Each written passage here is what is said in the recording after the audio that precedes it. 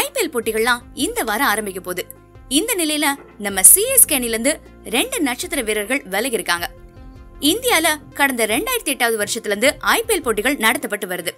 இதோட பதினோராவது season April ஏழாம் தேதி ஆரம்பிக்க போகுது.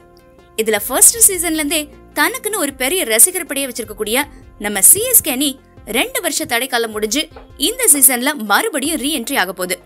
இதனாலேயே நம்ம சென்னை ரசிகர்கள்ட்ட பயங்கர எதிர்பார்ப்பு இருக்குன்னே சொல்லலாங்க. நம்ம சிஎஸ்கே வீரர்கள்லாம் சேப்பாக்கம் ஸ்டேடியம்ல எடுக்கக்கூடிய ட்ரைனிங்க பாக்குறதுக்காகவே மக்கள் அவங்க குவிஞ்சு வராங்க. அதே நேரம் நம்ம சிஎஸ்கே வீரர்கள்லாம் ஒரு ஓபன் பஸ்ல சென்னையை சுத்தி பார்த்துக்கிட்டு ரசிகர்கள்ட்ட பெரிய எதிர்பார்ப்பை ஏற்படுத்தியிருக்காங்க. இது மட்டும் இல்லங்க நம்ம ஹர்பஜன் சிங்கும் இம்ரான் தாஹிரும் தங்களோட ட்விட்டர் பேஜ்ல தமிழ் கத்துக்கிட்டு அதுலயே ட்வீட்டும் போட்டுட்டு ரசிகர்களை சந்தோஷப்படுத்திட்டு வராங்க. இந்த நிலையில தான் இவ்வளவு எதிர்பார்ப்போட இருக்கக்கூடிய நம்ம சென்னை ரசிகர்களுக்கு அதிர்ச்சி அளிக்கிற விதமா ஆஸ்திரேலிய டெஸ்ட் தொடர்ல காயமடைஞ்ச சவுத் ஆப்பிரிக்காவோட கேப்டன் டூ பிளஸஸ் இந்த ஐபிஎல்ல கலந்துக்கிறது சந்தேகம் அப்படின்னு நியூஸ் ஒன்னு வெளியில வந்திருக்குது.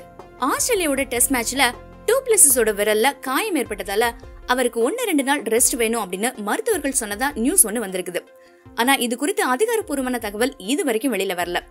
போன சீசன்லாம் கூட சிஎஸ்கே அணிக்காக விளையாடின இவரை இந்த சீசனுக்கான ஏலத்துல ஆர்டிஎம் கார்டு முறையை யூஸ் பண்ணி ஏலத்துல எடுத்திருக்காங்க நம்ம சிஎஸ்கே அணி. ஏற்கனவே நம்ம சிஎஸ்கேலேருந்து நியூசிலாந்து அணியோட மிச்சல் சாம்னர் விலகிட்டாரு.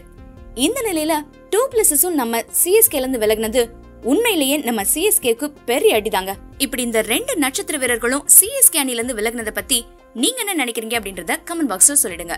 இந்த வீடியோ உங்களுக்கு பிடிச்சதுன்னா லைக் பண்ணுங்க ஷேர் பண்ணுங்க கமெண்ட் பண்ணுங்க. மறக்காம சப்ஸ்கிரைப் பண்ணுங்க. எங்க வீடியோஸ் அப்டேட் தெரிஞ்சுக்கணும்னா பக்கத்துல இருக்கக்கூடிய பெல் பட்டனையும் கிளிக் பண்ணிடுங்க. நன்றி. இதுவரைக்கும் கனெக்டிங் டிவிக்கு சப்ஸ்கிரைப் பண்ணனா மறக்காமல் சப்ஸ்கிரைப் பண்ணிக்கங்க. உடனடி அப்டேட்ஸ் பெறுவதற்கு நோட்டிஃபிகேஷன் பெல்லையும் கிளிக் பண்ணிக்கங்க.